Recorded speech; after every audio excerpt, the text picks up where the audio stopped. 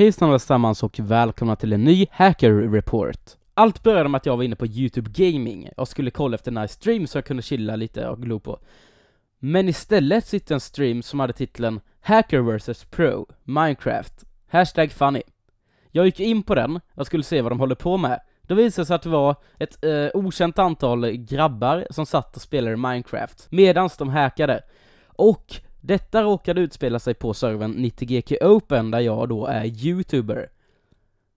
Det första jag gjorde var ju att jag gick in på deras livestream och spelade in en liten snutt från deras stream då när de hackar, som jag kommer lägga in nu. Yes.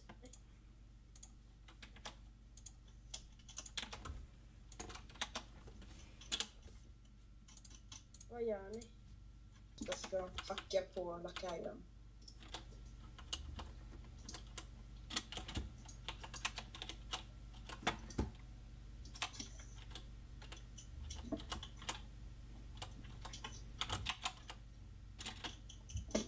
Innan jag började fixa med den här videon som ni kollar på just nu, så skickade jag en Skype-förfrågan till han som streamar. Det, för jag ville ju ta ett snack med honom såklart. Men! Det visade sig att han, han accepterade nu, när jag spelade in videon, så nu hade jag tänkt att klippa in allt som hände. Och han livestreamade självklart allt.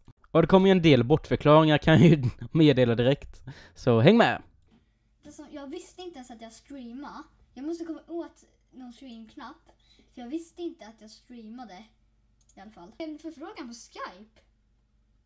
Åh nej, och rapportera. Nej, Godkänn. koppla in honom vet jag. Och nu när de bjöd in mig i Skype-gruppen, då skrev jag ett riktigt långt meddelande om varför man inte ska hacka. När man hackar och blir bannad så blir man bannad för att man hackar. Inte för att logga in med allt, alltså säga, ja du fattar med allt, gud, ja du fattar. Och hacka igen.